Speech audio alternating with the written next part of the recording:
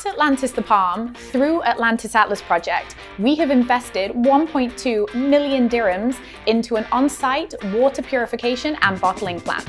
As one of the largest resorts in the region, this will see us eliminate 2.7 million single-use plastic bottles from our operations every single year.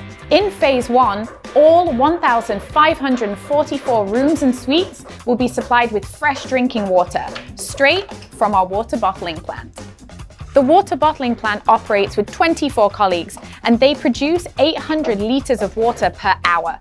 There are 12,000 glass bottles in circulation on site, and up to 2,500 bottles will be transported around the resort at any one time.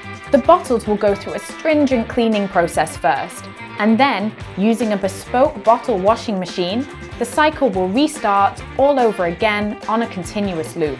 Every bottle will go through a four-step filtration process to guarantee quality. Step one, we use a ceramic-based filtration unit to remove unwanted elements such as metals.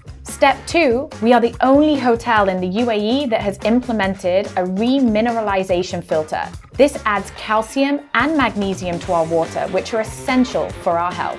Step 3. We use copper-silver ionization to sterilize the water and prolong its shelf life. Step 4. Our ultrafiltration technology prevents scale formation and buildup of contaminants. As a final disinfection step, we use ultraviolet sterilizers in the dispenser nozzles. We aim to eliminate all single-use plastic bottles from our operations by the end of 2023 in support of Dubai Can, the Crown Prince of Dubai Sustainability Initiative. Now, Atlantis Atlas Project is home to our own initiatives and is the roadmap to becoming a regional leader in responsible tourism.